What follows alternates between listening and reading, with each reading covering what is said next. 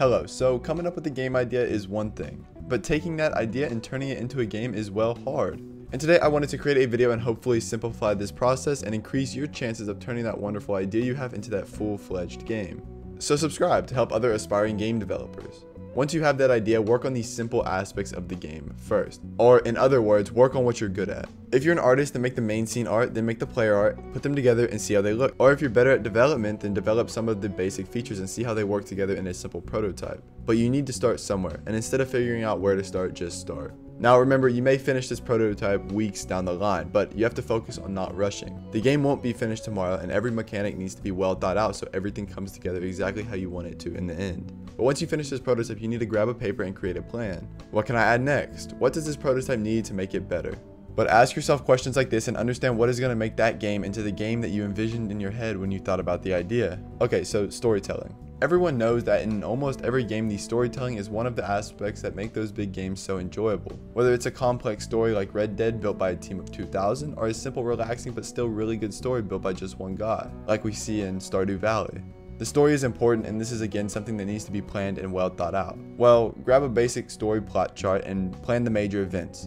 Zoom in and break it down more, open up a Word doc and jot down events that need to occur to make the story more entertaining for the player. Fill in a couple blanks on the basic plot chart, and well, boom, the base of your story. Don't be afraid to get feedback and see what others think of this, and don't ever be afraid to change it up.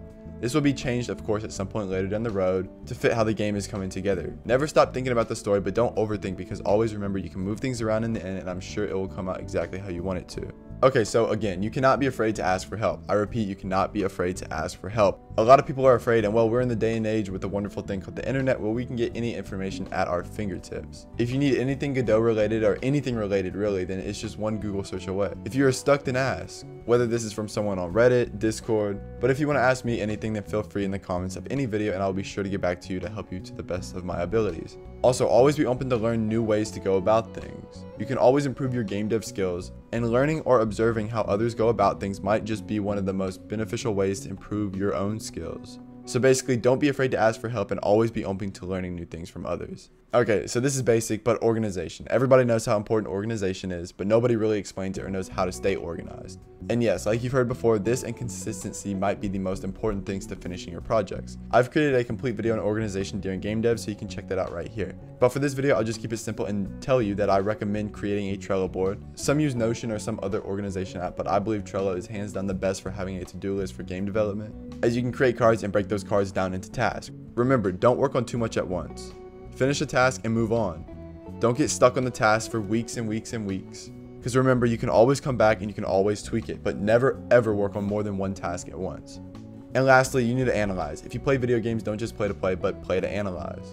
Well, this is going to take away from the gaming experience. And well, it could, but it doesn't have to at all. Just play said game as you usually would, but try and understand how the game is put together. Why did the developer create this in this way? And if you end up finding something that would look amazing in your game, then write it down and come back to it when you are developing. Overall, just stay consistent, always learn, plan well, organize, don't rush, and never ever be afraid to ask for help. Hope you were able to find something helpful in this video. Thank you so much for watching, and if you need any help within the Godot engine, then please let me know. Until next time, stay safe and have a wonderful rest of your day. Bye bye.